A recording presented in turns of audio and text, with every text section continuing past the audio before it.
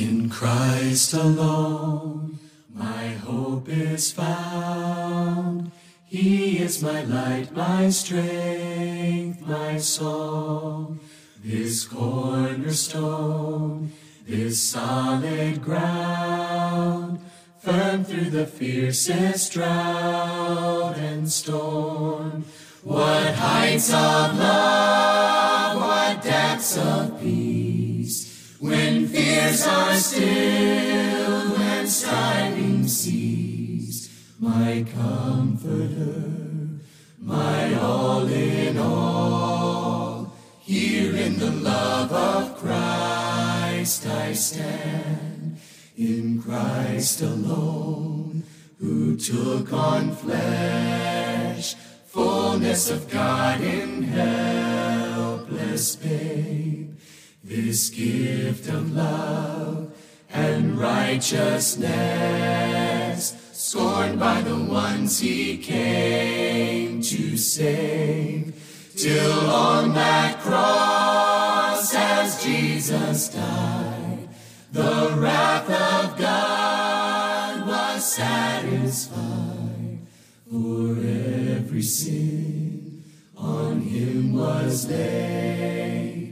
Here in the death of Christ I live, there in the ground his body lay, light of the world by darkness slain, then bursting forth in glorious day, up from the grave he rose again, as he stands for victory, sin's curse has lost its grip on me, for I am his, and he is mine, bought with the precious blood of Christ.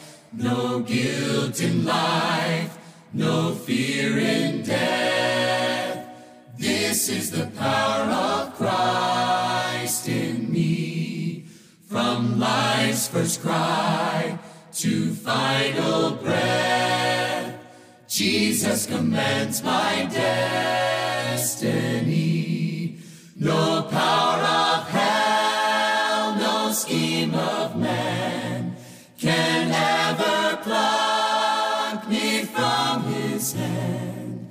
till he returns or calls me home. Here in the power of Christ I'll stand.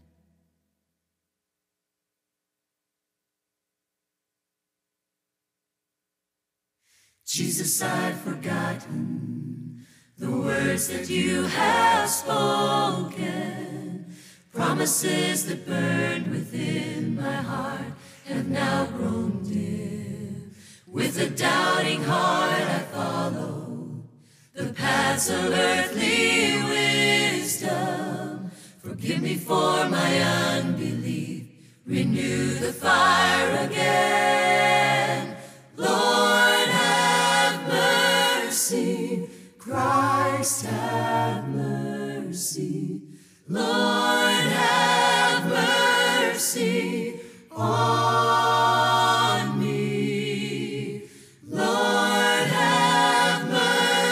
mercy Christ, have mercy. Lord, have mercy. on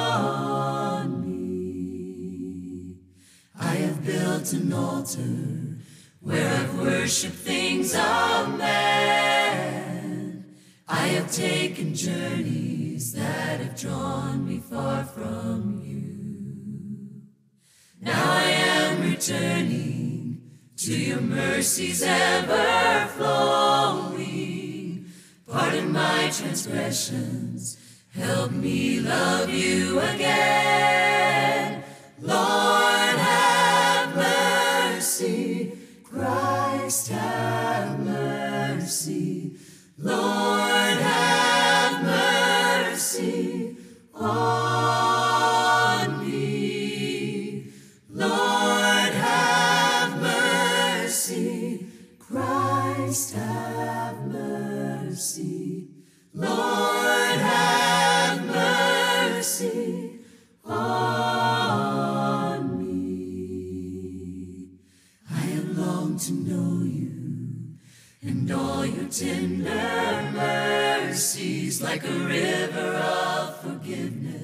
ever flowing without end. So I bow my heart before you in the goodness of your presence, your grace forever shining like a beacon in the night. Lord, have mercy. Christ, have mercy. Lord, have Oh.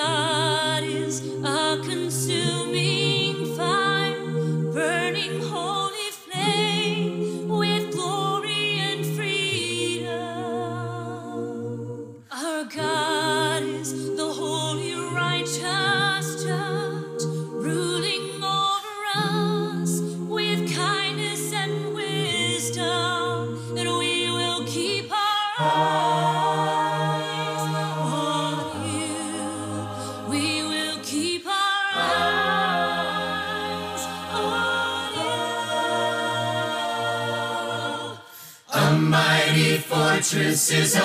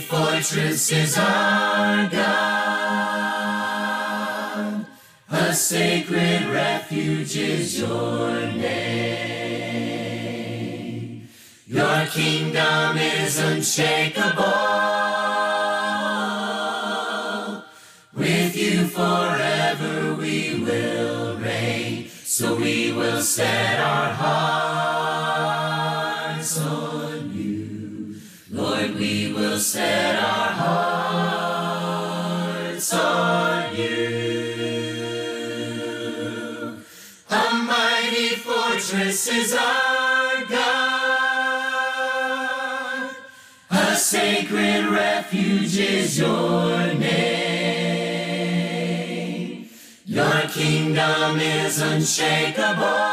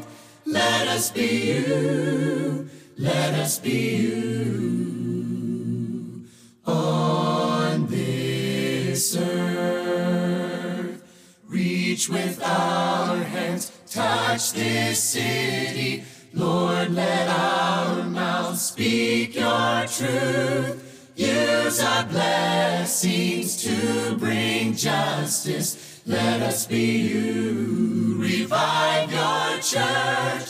Let us be you on this earth. Let us be you when a wounded soul cries out for hope. Let us be you when the lonely need to know they're not alone. Just as your stars pierce through the night, let us forever shine your light. Let us be you, let us be you on this earth. Let us be you on this earth.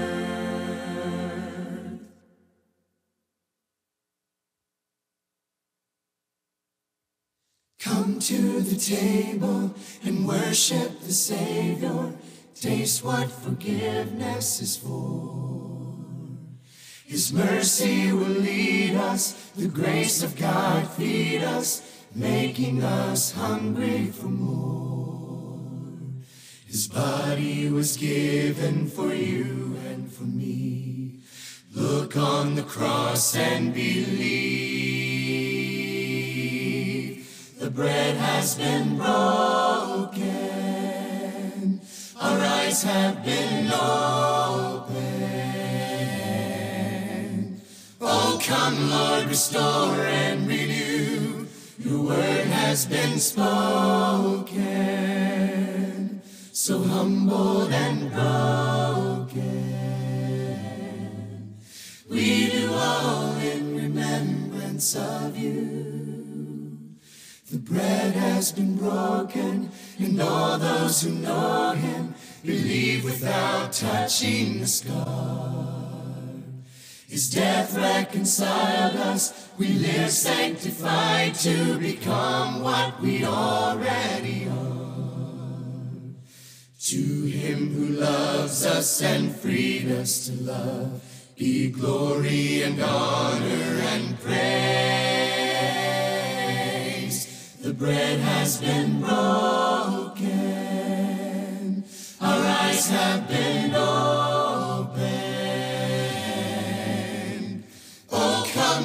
Restore and renew. Your word has been spoken, so humbled and broken.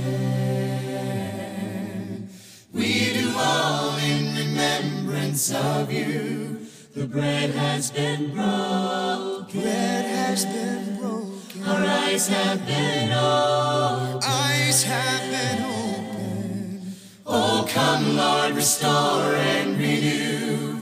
Your word has been spoken. Word has been spoken. So humbled and broken. humble and broken.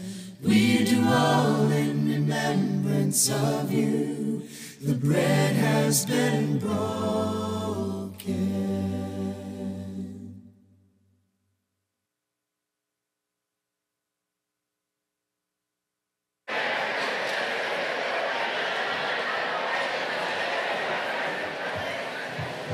Good morning. Good morning. Come on in and find a seat. Good morning. Here we go. There we go. Get some lights flickering. Now we'll get your attention. All right. Good morning. We are glad you're here this morning. Come on in and find your seat, and we will get started. I hope you're ready to worship our God with me. Um, for those of you in person, it is great to see you. For those online, we miss you. Um, but we are glad that you are here and joining us this morning. We do have a couple of announcements I want to cover. Uh, first one, make sure you're recording your attendance. You can scan this code, so get your camera out. I won't think you're taking a picture of me, it's okay. You can point it up here at the screen, tap on it, and register your attendance. You can also go to the Realm app if you have that, or if you get the bulletin each week, there's a code in there that you can scan as well. But let us know that you're here, and uh, especially if you're a visitor, so that we can uh, reach out and meet you and send you some information about Saturn Road. Next, we are trying to update Realm. If you're not familiar with what Realm is, it's basically our online directory. You can also do your online giving there. Has a lot of information about Saturn Road. Go to Realm, and if you uh, in the search bar in the top, click on your name. If the information isn't right, let the church office know. Let us get that updated. Your cell phone's in there. Your email is in there. That email is also used to send out the love line each week as well as our bulletin. So let's make sure that that's uh, updated and accurate. And if there's not a picture in there, you can send a picture to the church office. It does not have to be the standard church picture in front of the little stone wall. It can be a Christmas card, it can be a birthday card, it could be something even more exciting. Let's keep it PG. Um, but send a picture in. If, uh, you know, when we're looking at other people up online, if you hear a name, it's like, I'm not sure who that is, it's great to be able to click on that and see their picture. So send those in. Next, uh, fifth Sunday singing. This, uh, this month has five Sundays in it, so our fifth Sunday will be the 31st. And that evening at 6 p.m., we will have a singing service here uh, in the auditorium, so make plans to join us for that. And then, the last announcement we have a, a new family placing membership, the Tuttle family. Yes, thank you. And are they here this morning? I don't see, oh, here they are, right over here. Perfect. So, welcome. We're glad you're joining us. All right, let's prepare for worship. Paul, you got it. Well, he was talking about those pictures. I thought of all those awkward Christmas photos that we took over the years. I thought, why not? Let's just put it up there. When the elders are looking, like, oh, okay, I guess we'll put them on our prayer list. Hey, we are in for a great treat this morning. We're going to be talking about uh, food, the bread of life, and I'm so excited and I love some energy. So let's stand up. Ladies, you're going to start us off here really strong. I'm pressing, and men will come in. This is, uh, we haven't done this in a while but I think it'll just click right back in. I'm pressing on the upward way, new heights I'm gaining every day, still praying onward bound. Lord, plant my feet on higher ground. Lord, lift me up and let me stand by faith on earth, stable land, a higher have found. Lord, plant my feet on higher ground. My heart has no desire to stay where clouds and fears dismay.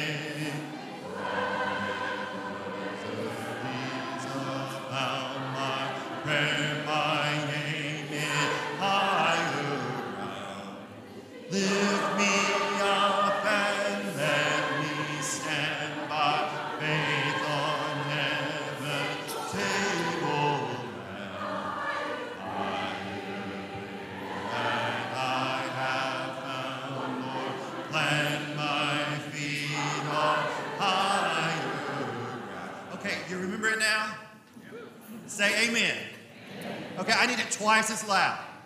Twice. And men, when you come in, boom it. And I need the youth section, boom it loud. Here we go. Let's go back to the very beginning. I want to try this one more time.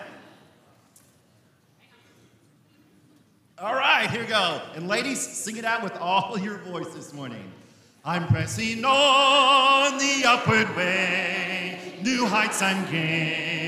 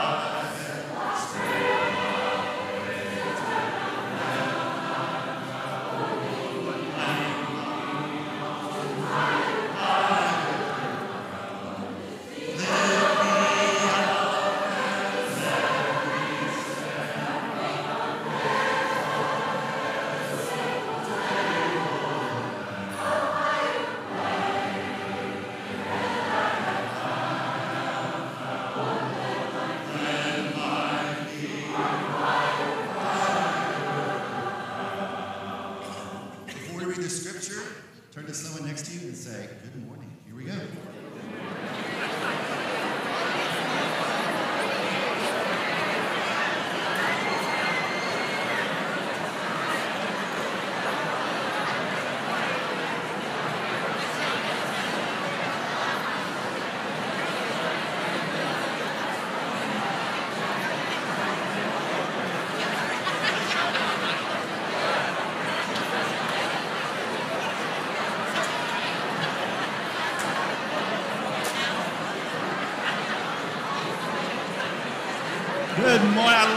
Energy.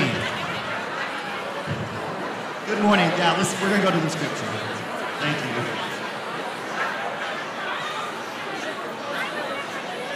Turn to the person next to you and say, It's time to listen to him.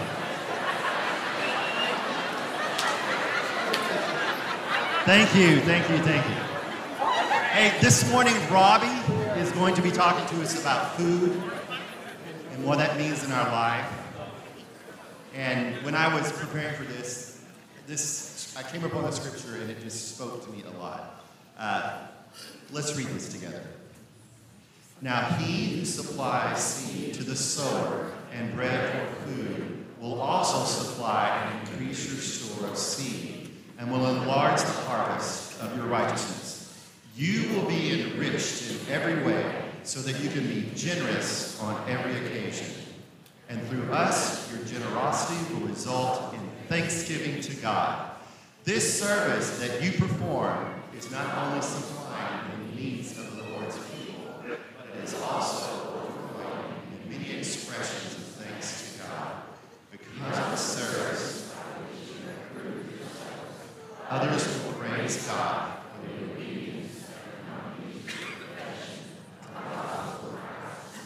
for the. We serve an awesome God, and we're overflowing in praise and thanksgiving. Let's sing this with all our heart to our Lord. Hosanna, Hosanna, Hosanna in the highest. Hosanna,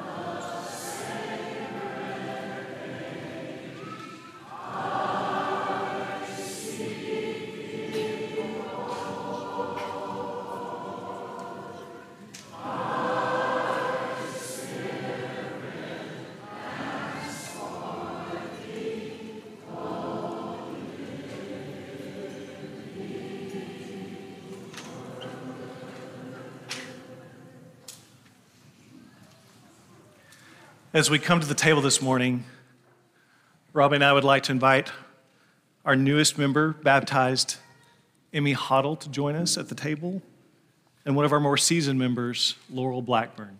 Please join us at the table.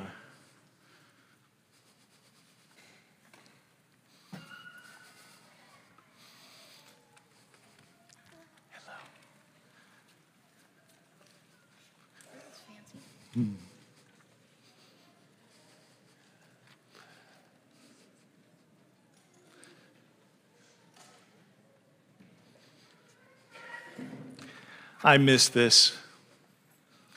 When we have sanitized communion, we lose this Passover style fellowship that the early church originally had.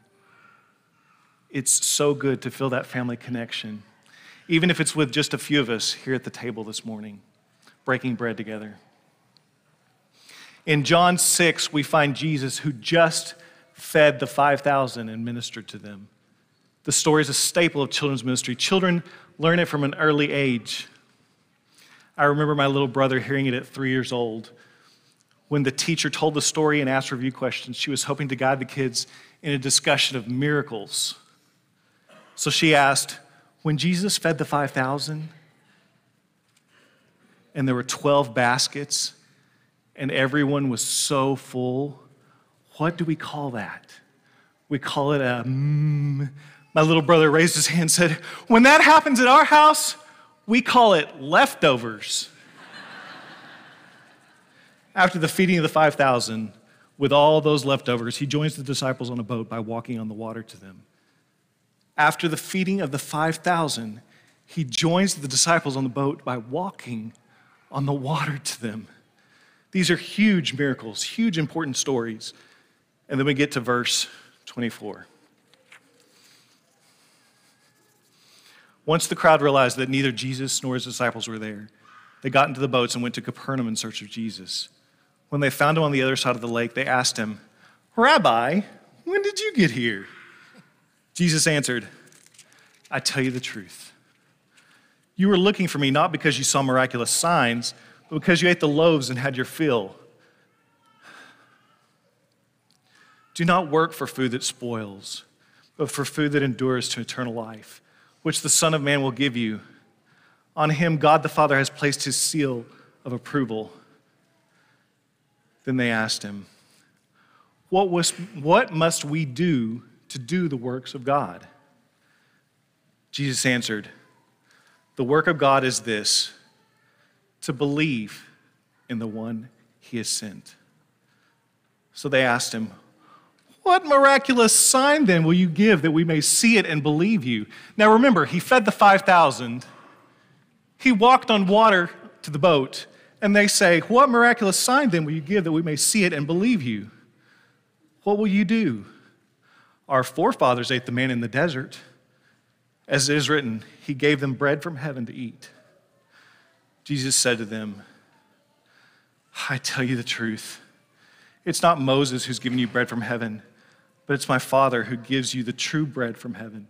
For the bread of God is he who comes down from heaven and gives life to the world. Sir, they said, from now on, give us this bread. Then Jesus declared, I am the bread of life. He who comes to me will never go hungry, and he who believes in me will never be thirsty. Let's pray. We give you thanks for being our bread and our sustenance. And as we gather at this table with our brethren, we thank you for the opportunity for fellowship and for the invitation, for your sacrifice, and for the salvation and the life together that proceeds out of that commitment to ones that you have created. Pray for this bread. Pray that as we receive it as a community, it will strengthen us both spiritually and give us resolve to go out and be the bread of life in your stead for others. For Christ, let me pray. Amen.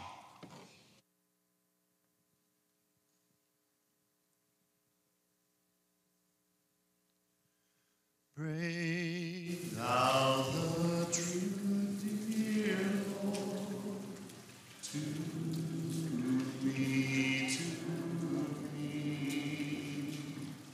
As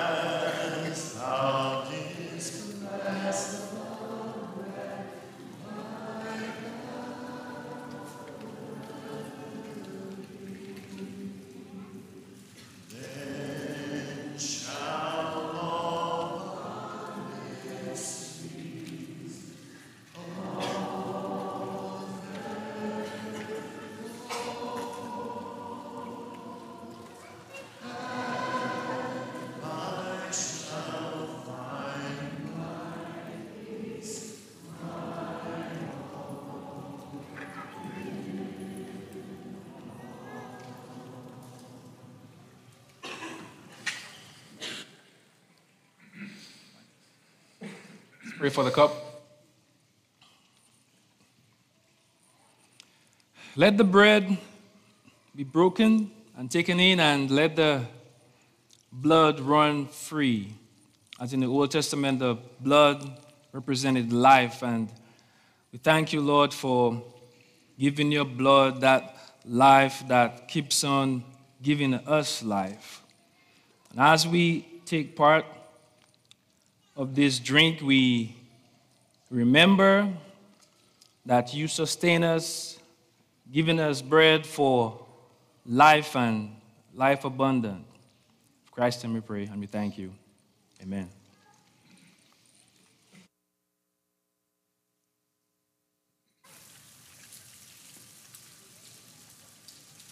I love you, Lord, and I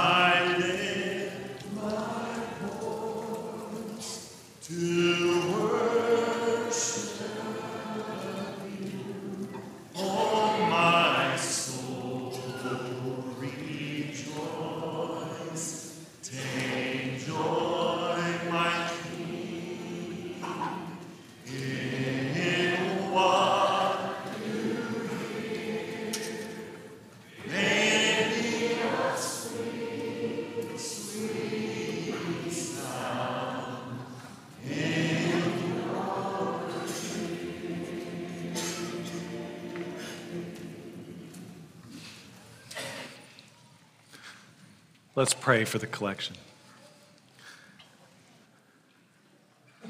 Father in heaven, as we pass these baskets around for our contribution, we're not passing to give out of our leftovers, but out of our first fruits.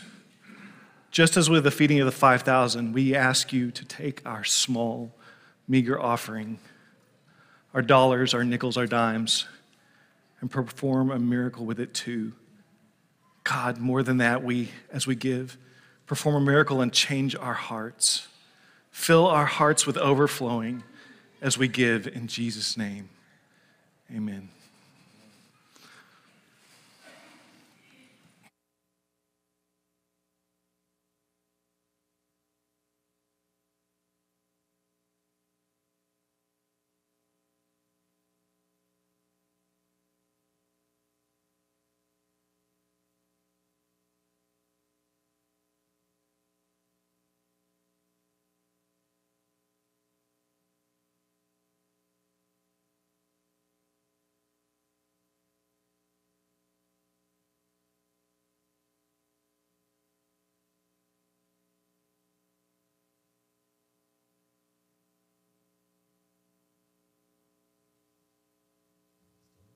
Hey everybody, my name is Kate Barnes and I'm the Care Play Read Director for those of you who don't know me.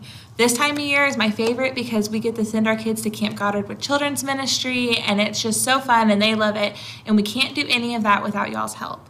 So during this next song, if you'd like to, please feel free to come down to the front, grab an envelope, and then come either find me with a donation in that at the information desk or you can give online as well and there'll be an email sent about that. Thank you so much. This year, Hooked on Jesus, got some stories about fishing, water at Camp Goddard. I was very blessed at the right at the start of CPR to come up here and to see Kate in action. It's amazing. It's a blessing. It's a ministry, if you're not familiar with it, back in 1992 is when this all began. We began outreaching to our community and bringing the children in. I was blessed to get to join with Mary Dooley and Carol Phelps as we kind of did this, and I had many helpers Holly Harden, Amy Bacon, many people who have participated over the years. But this is our chance to really do a concrete thing to reach out to these people and let them know that God loves them and wants them to be a part of his forever family. What I'm going to ask you to do is that some of these kids have some means to pay for things, but a lot of them do not. And up at the front, we have a couple of baskets with envelopes.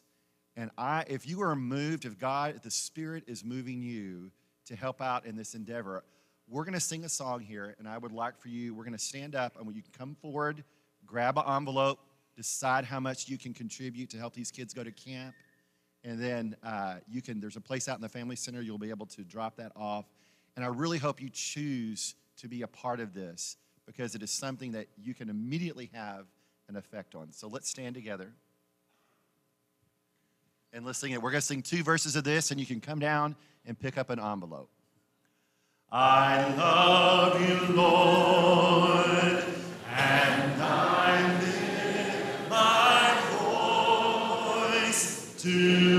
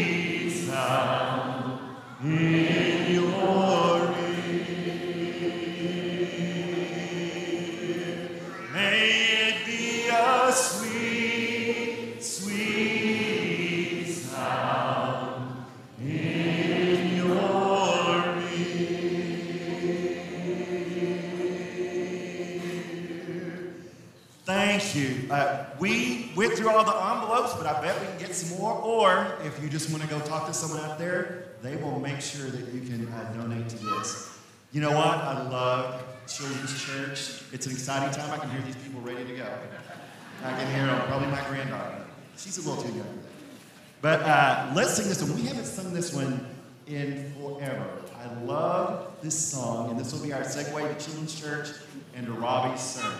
Put your heart into it. If the skies above your grave you are feeling so blue, if your cares and mercy rain all the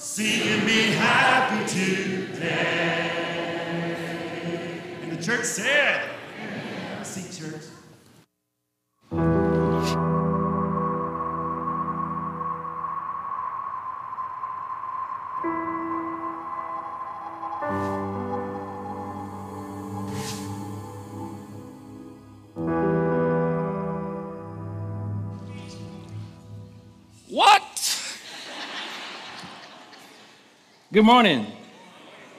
Online and on ground, welcome to a gathering of the body of Christ here at Saturn Road. Before I get started, I have a quick PSA. Y'all feeling all right today? Everybody good? Yeah, all right, all right, all right, all right. This morning we're talking about food, food for thought. But before we get there, we have seen that um, the Roe versus Wade ruling have been publicized and talked about, and um, the terms pro-life and pro-choice are very much politically charged terms. And so when people use those terms, they surmise that everyone else knows what they mean by those terms. But that's not the case. And so you guys are blessed with elders filled with wisdom, wanting to lead with the Spirit. And so they have proposed that we discuss the idea of pro life and pro choice at a congregational meeting that will give you guys a few times to choose so that we could come together as a body, as a family, and not just give a 20 second sound bite or a 15 minute monologue sermon on this everyday issue that people are struggling with, but to really come together and lay it all out and understand that God and Christ is concerned for life both in the womb and out of the womb. So, stay tuned for that announcement. We will be reconvening and talking about this episode of life that is playing out now, that is dividing churches and families and people. And um, the leadership here wants to make sure that as we talk about everyday things, we don't just talk about it for 20 seconds and shout our truth and leave. We want to really walk with people every day and figure this thing out. So that is coming soon. On today, we are talking about food for thought. There's really nothing to see here. Is that the video?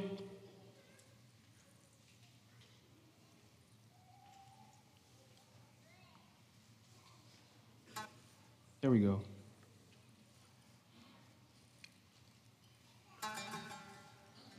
Should I click? Okay, all right.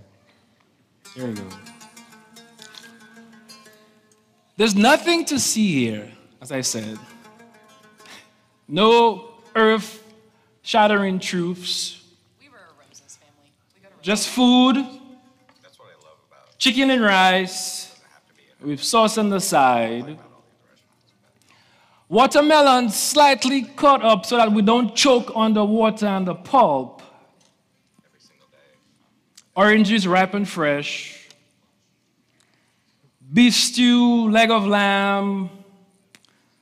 Barbecue brisket, cabbages, tortillas, Rice Krispies, Big Mac sandwiches, curly fries, dumplings, and hot pockets. Just, just food. There's nothing to see here. So, preacher, please tell me a story about Jesus. A Sunday sermon about the gospel. And so on Sundays, we want to hear words like uh, sanctification, saving grace, sacrifice. You know, those good Sunday pious words, but not food. How do you preach a sermon on food? We just do that every day and take it for granted. We preach important things, but not food. And I will tell you, believe it or not, food is involved. Now, if you're not reading your Bible upside down or separating the images and metaphors from the words of Christ in red or the critical pen of the prophet, you are going to see a whole lot of eating going on. Thank you. So in 2010, the US Census Bureau reported that 15.1% of people lived below the poverty line. And in that same year, the World Food Organization says that there were 925 million people worldwide that were simply hungry. In a world where we waste 30 to 50% of food produced. And in between this aspect of hunger and poverty, we have everyday people eating to forget about their troubles. Some eat to create good memories or to remember good memories. Some eat to celebrate. Some just eat to, ah, alas, survive. Everyday people are eating. Christians are eating, but without understanding. The foundations of food show up in the Old Testament. And so in Genesis 1, from verse 29, we have these words. Then God said, I give you every seed bearing plant on the face of the whole earth, and every tree that has fruit with seed in it. So, seedless grapes, by the way. They will be yours for food. And to all the beasts of the earth, and all the birds in the sky, and all the creatures that move along the ground, everything that has the breath of life in it, I give every green plant for food. And it was so.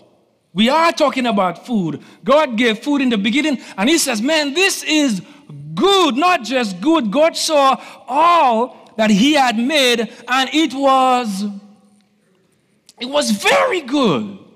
But we're not talking about sacrifice and sanctification. We're talking about food.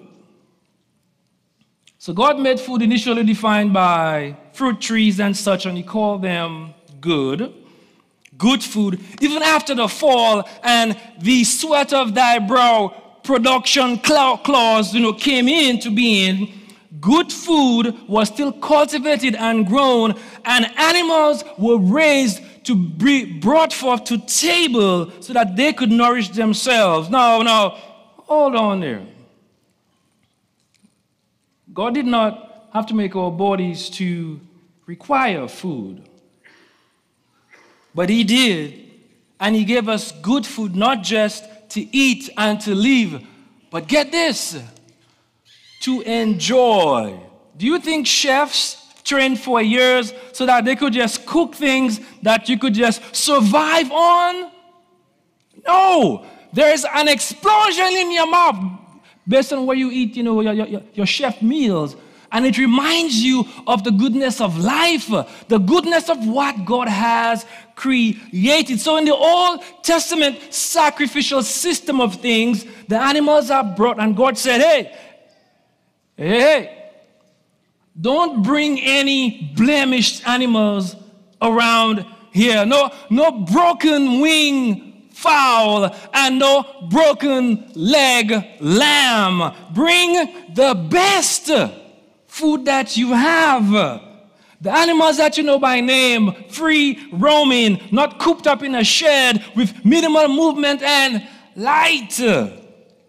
Bring them, I want sacrifice to rise to the heavens. And the priest would eat the rest, the good food, good, worthy sacrifices, burned and eaten, nothing wasted in the push and pull of communion with God, blessing from God, providence for the priests and the people, Food is love, food is providence, food is communication, an item in worship.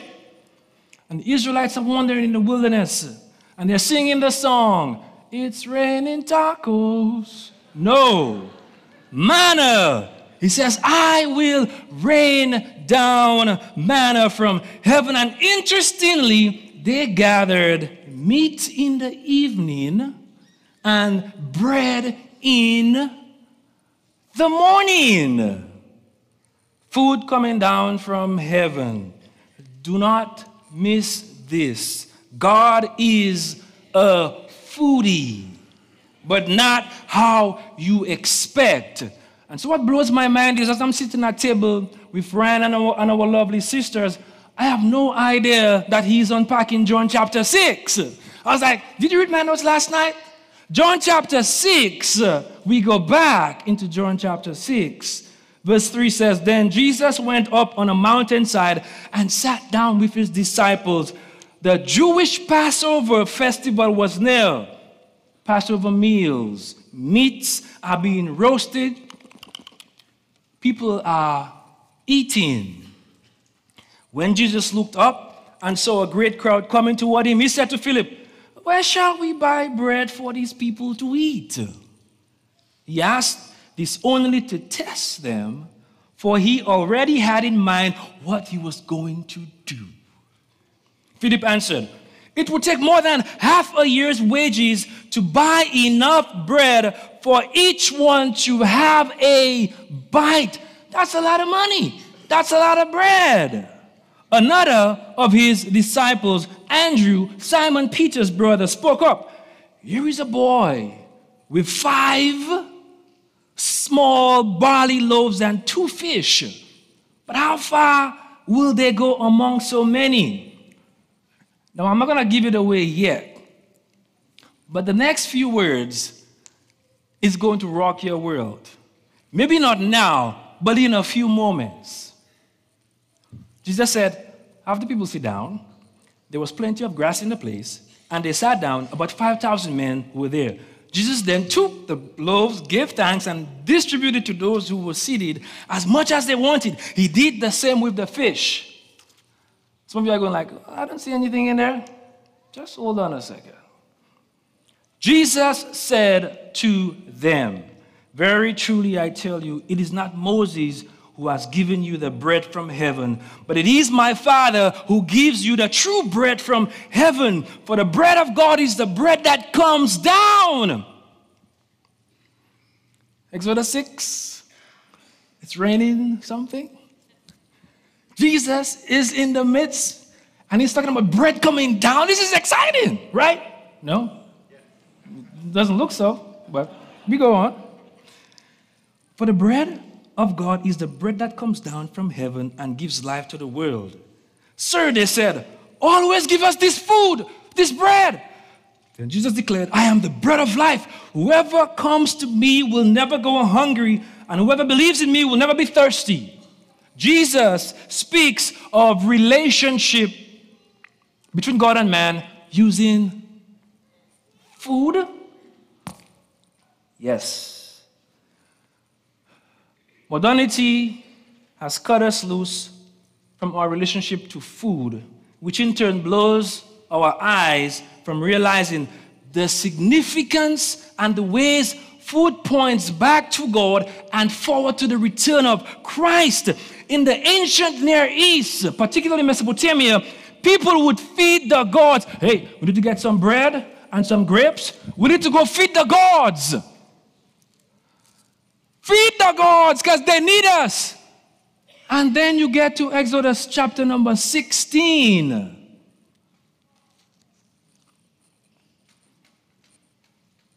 And people are not feeding the gods, but God is feeding the people. Look here. What about a role rehearsal? God is feeding the people. Hmm. Let's chew on that for a little bit. Why? What is food? I have three questions before we get deeper into the text.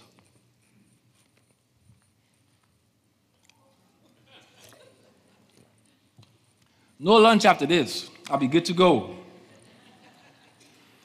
Is food unawareness and oppression? We are so removed from the production of our food that there are some kids who don't know that eggs come from. Well, do you guys know where eggs come from? I don't know, because that answer wasn't so confident. Or when you go to the grocery store, that the well lit grocery aisles with attractively packaged foods, that there's a story about the animal and how it lives and how it died, that there's a story about the vegetables and the fruits, veggie tales, if you will, whether they are produced on a farm or whether they are produced by people who are employed but they don't get a fair wage. Or whether they are produced on land that's destroyed by pesticides to secure, to secure large yields are the consequence of toxic runoff. Fair wages, fair labor practices, considerations by Jane Webster as she speaks on a theology of food. People today are unaware eaters. Israelites eating in the wilderness. How can you not be aware that your food is falling from the sky?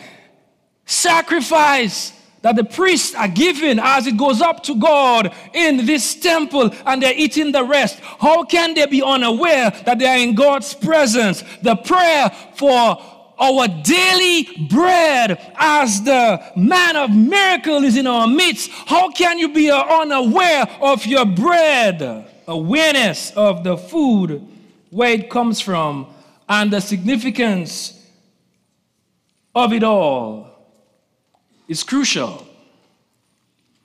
Suraj Patel from Food Inc., Hungry for Change says Today's global food system undermines human health, mistreats food service and agricultural workers, destroys agricultural communities, abuses animals and degrades agricultural lands and ecosystems. Is, is this a sermon? Yes. In the beginning, God gave food as an expression of provision and enjoyment. Said it was good when He made it. Today, it is far from good and not always healthy, and so on. So, who broke food? Sometimes we like the food of others, but we hate them and their culture that they represent is food exploitation. Do you know the tale of the sugar plantations in Florida? How the typical chicken lives? What is comfort food we eat to feel something in our souls? It is the same with shopping to feel it and buying to feel it, to feel something deeper. Are we eating unaware? Is food unawareness? Is food oppression? Second question is Is food bad? So God made good food to replicate. We seeking to duplicate, make a lot of bad food because it is not with the intention of fellowship or feeding the hungry, but for profit. And so fast food reflects our relationships. Have you ever thought about that? Fast food, the modern day convenience no, I'm not the pot calling the kettle black. You know, sometimes I eat from these places, but I want to preach truth to myself and invite us in to reflect. Is that okay? So don't go and pick it against Pizza Hut and those places. We're just taking one step forward to understand our relationship with food because everyday people are eating food every day. Fast food reflects our relationship. Convenience, timed, quick, abundant, but not so nutritious or nourishing, unhealthy, mindless, attractive, but toxic. Slow food production is not something that fits well into our society. And so there's urban food deserts where poor people have limited options for food. So we go to Aldi's to shop, we go to Walmart to shop for food and Target. But some people walk across to the convenience store or gas station to buy bread, to buy milk, and other things, usually highly processed. A lot of food production is occurring where animals are crammed up in tight spaces or abused. And I wonder the stress that these animals face. I wonder as we eat the food of these animals, I wonder if that stress transfers to us. I guess not, right?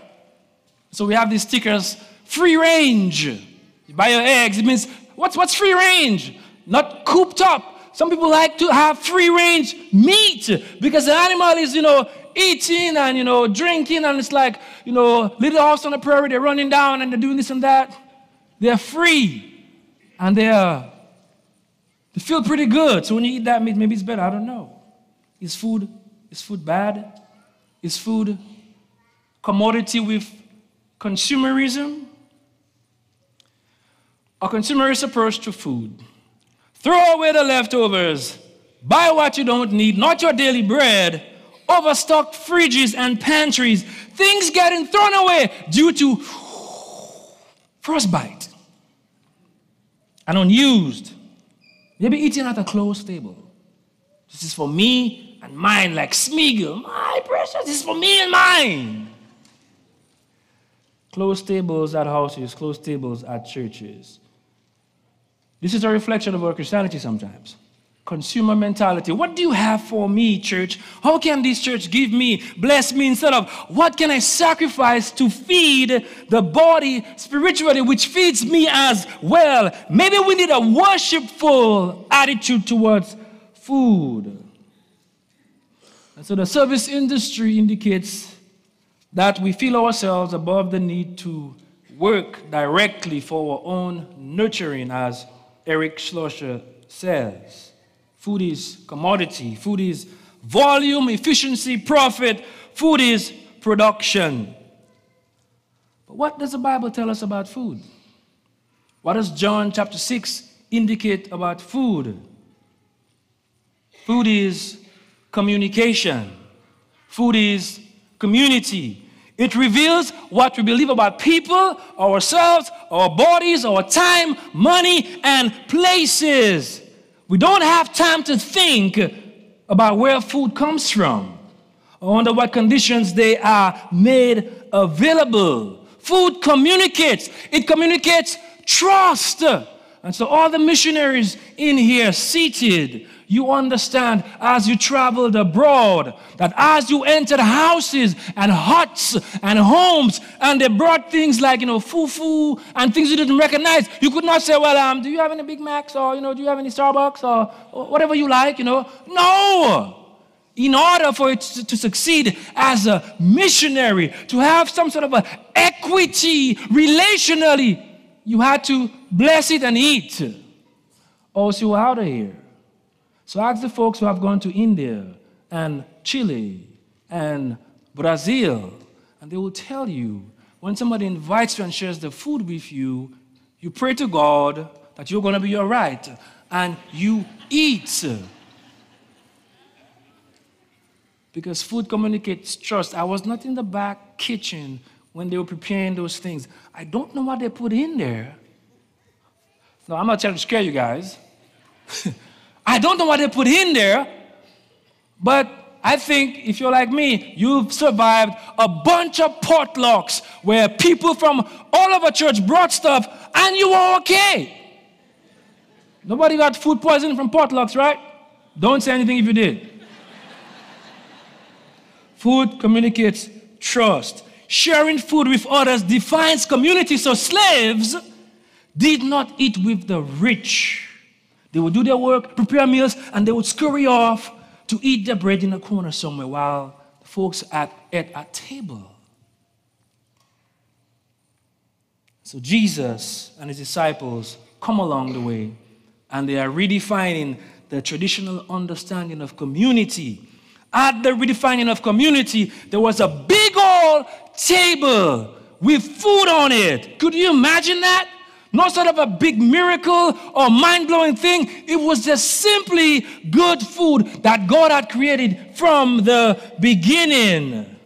The new community is scandalous because they are eating with tax collectors and sinners. So Zacchaeus was a wee little man, a wee little man was he. He. For the Lord, he wanted to.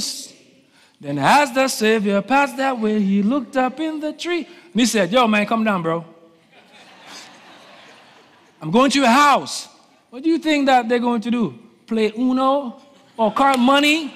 They're going to eat. And people were outraged. How dare, how dare you use this sacred thing about having meals with people we know and love to extend it to a tax collector, a sinner. And as they're going on, man, he's redefining community with bread. It's like Simba being held up. Bread. This is so wild. Bread.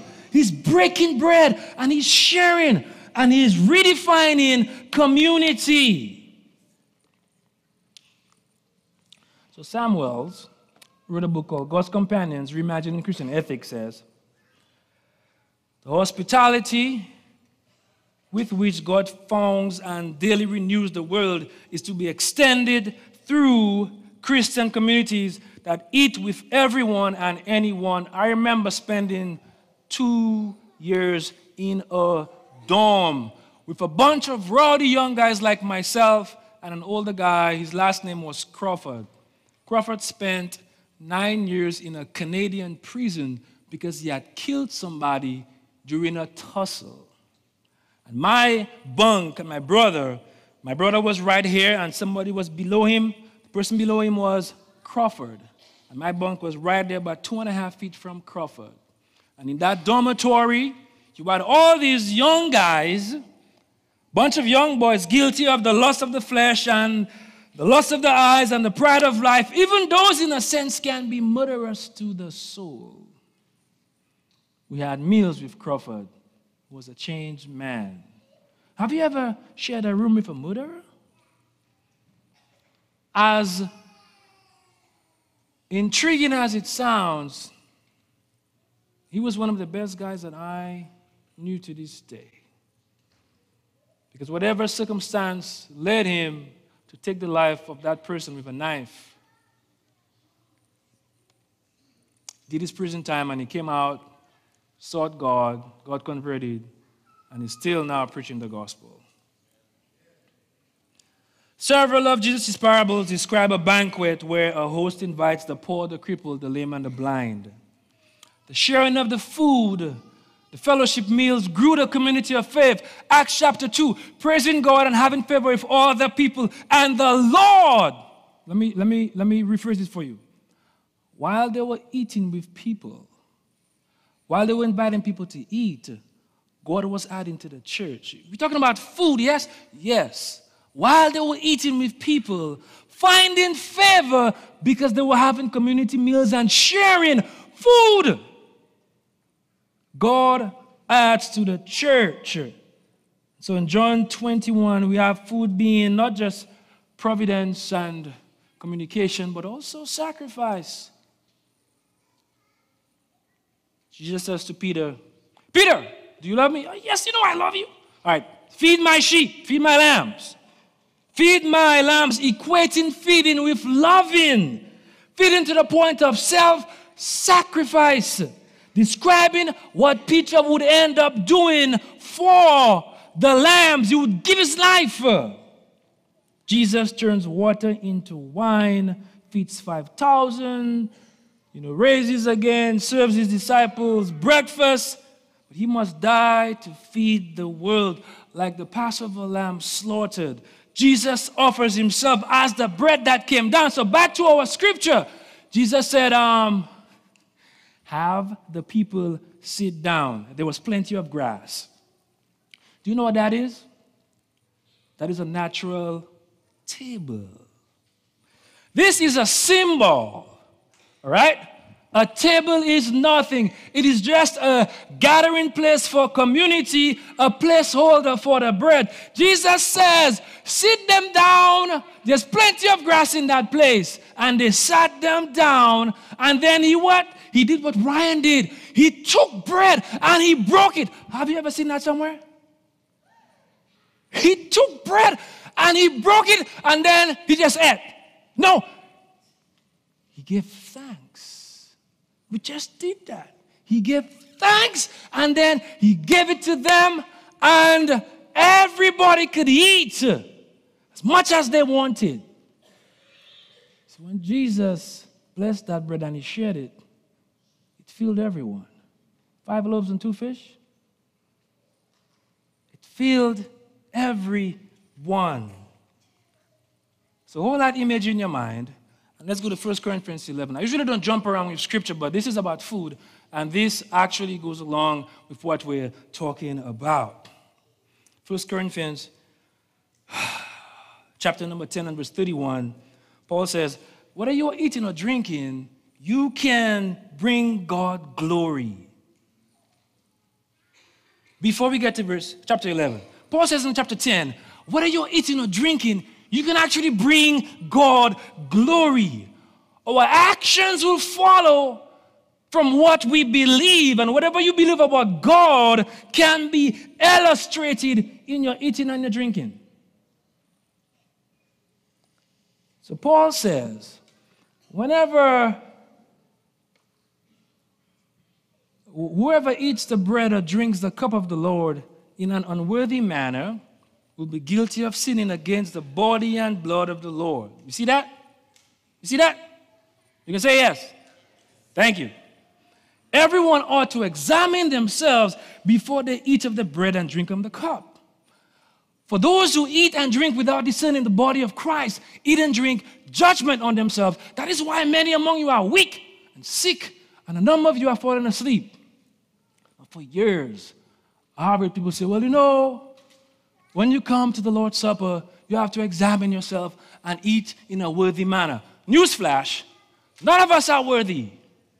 This is not talking about you, it's talking about the other person. Let me make it plain for you. There was what you called a love feast or fellowship meal. And if you go back and read 1 Corinthians chapter 11, people are coming together and some are drunk. Some have eaten to the point that when others come in, they are ashamed because there's nothing to eat. Because the Lord's Supper, the unleavened bread and the wine, was couched in a fellowship meal. And so Paul says, You people have houses to eat. You guys have means. You guys can eat your food at home, but no, you come here and you eat all the food and you drink all the wine. And when folks who are in need come, they can't get nothing. You have put them to shame. So the person that eats and drinks in an unworthy manner eats and drinks without, without respect or appreciation or providing space for the other person. It has nothing to do with you and, oh man, I sinned on Friday night. I sinned on Saturday night. I got to make sure I pray so that I can come and take this thing in a worthy manner. It's not about you, it was never about you. It was always about the next person at table with you that you were shaming because you did not think about them while you ate.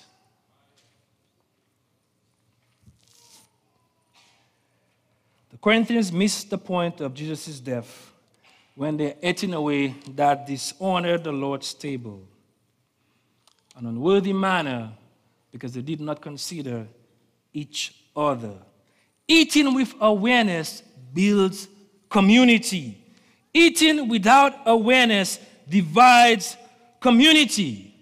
But food is in the middle of a life and death drama as William Inge says, it's in the middle of a life and death drama. The whole of nature, the whole of nature is a conjunction of the verb to eat. Don't we're almost done, all right? And you get just give me about five more minutes. Can I get five more minutes? All right. The whole of nature is a conjunction of the verb to eat in the active and in the passive. Though eating is a gift and a grace, it is important to remember that eating comes at a great cost. As every gardener will tell us, healthy and fertile growth can only arise out of the soil into which death regularly enters. Every act of eating raises an important sobering question. Here's a question for you How does any one of us become worthy of another's life and death?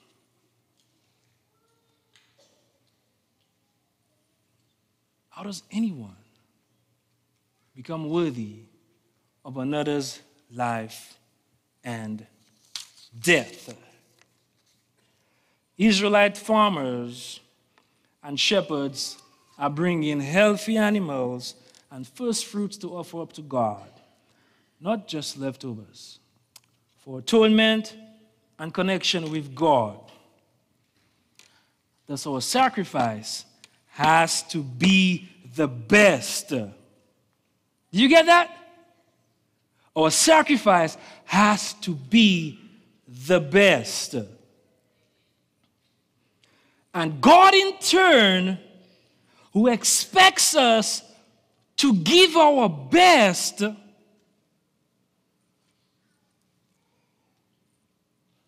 when it comes to saving us, this is where my world got rocked. When it comes to saving us, God looked around for the best and realized that it was Him. That blew my mind. Couldn't send an angel, couldn't send a man, couldn't send a prophet.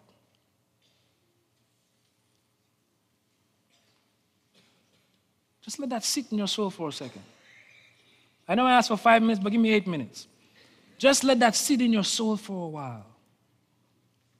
Jesus incarnate, the express image of God. You can't make this up. And so Jesus in John chapter 6, he said, hey, hey, hey, hey, the bread came down. Not just any type of bread, but the best. James says, hey man, you know, you you you parents, you know, your kids ask you for gifts. You know, you, you, you know how to give good gifts.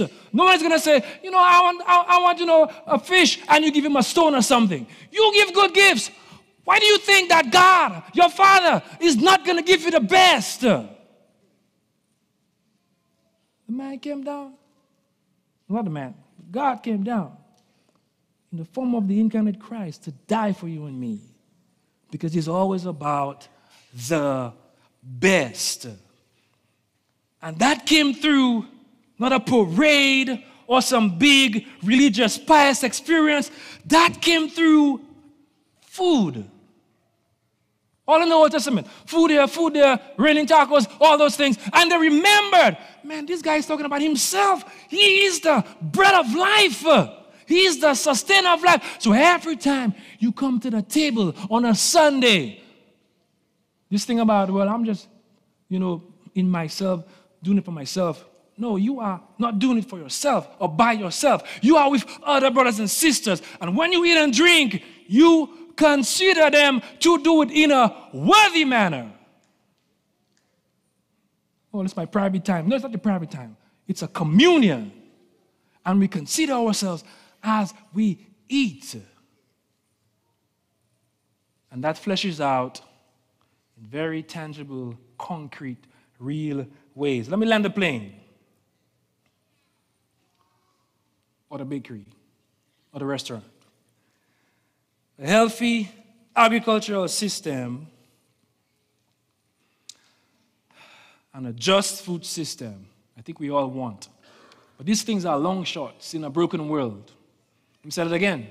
You want a healthy agricultural system and a just food system where land is not manipulated and wasted and people are not exploited. That is a long shot.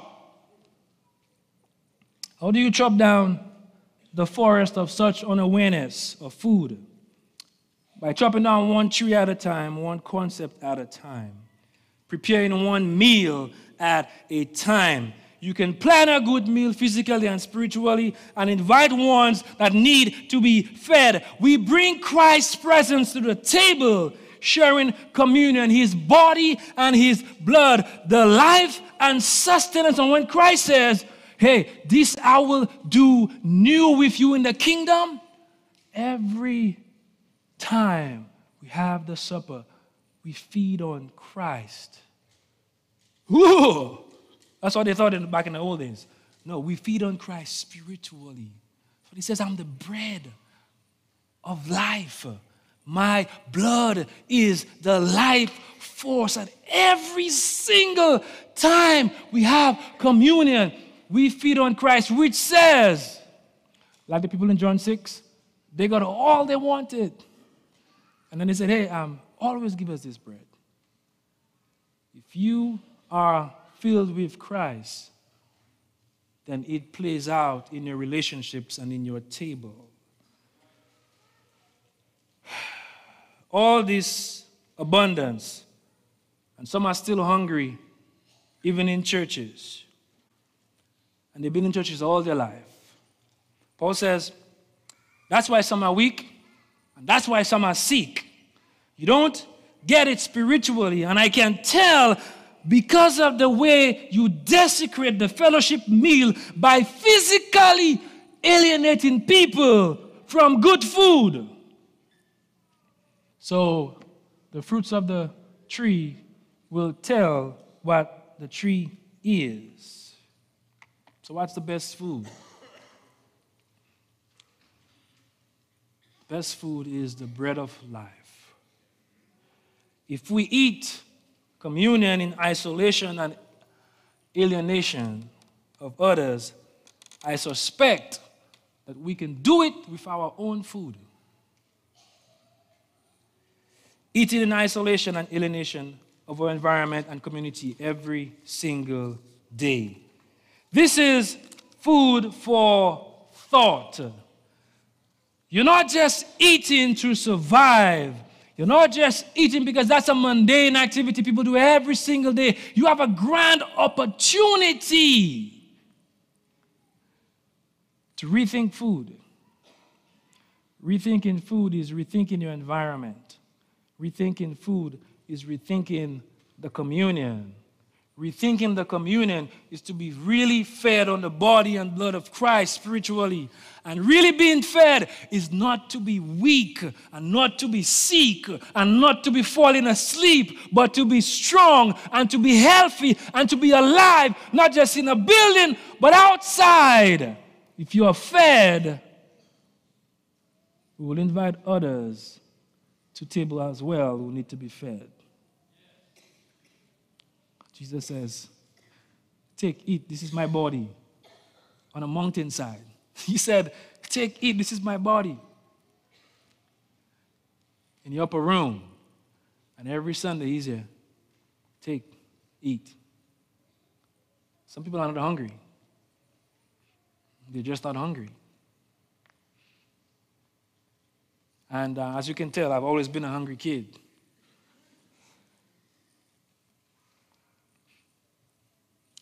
The best food is food provided by God. The best food is Christ. As we stand and as we get ready to sing,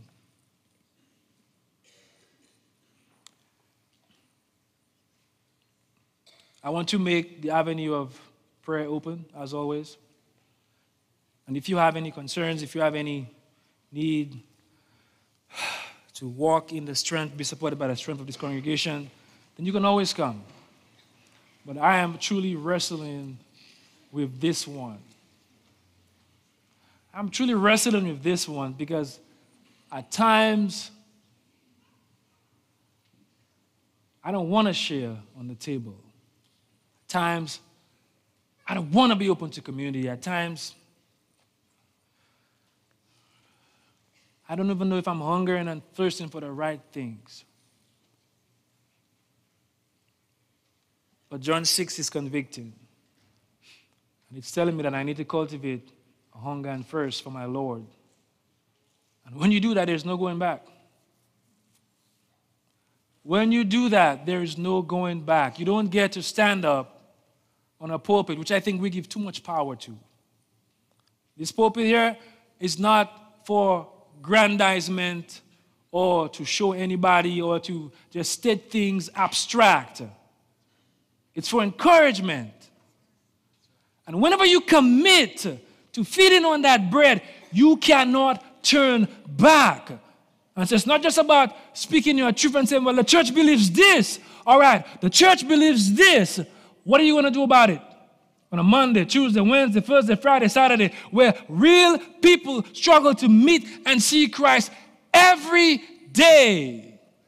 We are shouting, truth, truth. And they over here shouting, proof. Proof. Not to sound cliche, the proof is in the pudding, but more in the bread and the wine. Sing. Faithful love flowing down from the makes me whole, saves my soul, washes me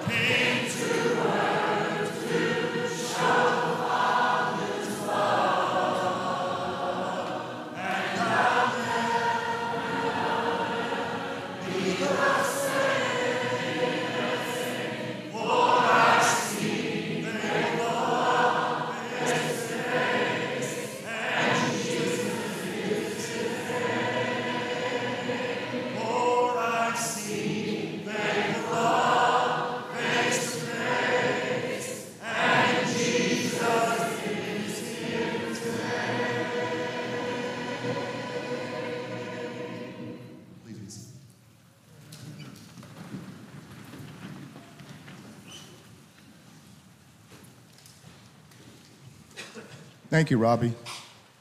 Amen. Um, our brother Jay Appleton comes this morning. And if, if you know Jay, if you're in class with Jay, if you want to know Jay, I want you to come down right now and I want you to surround him because our brother needs you right now. Our brother needs your help. He needs to know, he needs to feel support, he needs love from this congregation, he needs your prayers. He desperately desires all these things. He is a good guy. And uh, he come in this morning struggling. He's struggling with feeling worthy. How many of us have ever struggled with that? Yeah, me too. Feels like he's disappointing to God. He's struggling with depression. Jay needs our prayers. He needs our help. He needs our love.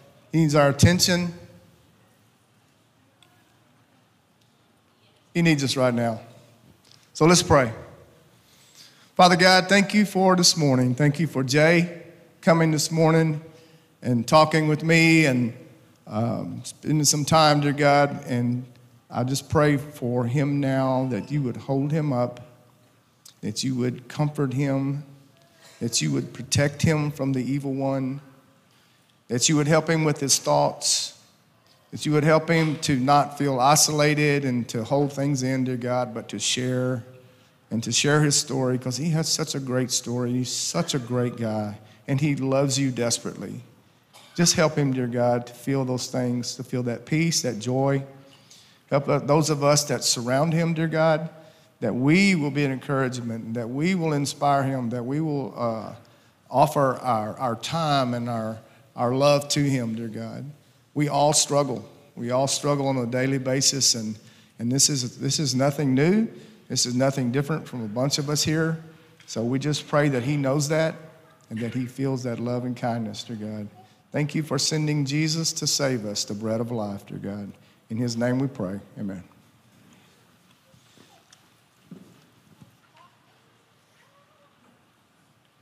This is why we are family. We don't do this by ourselves. We do this together. Let's stand and read.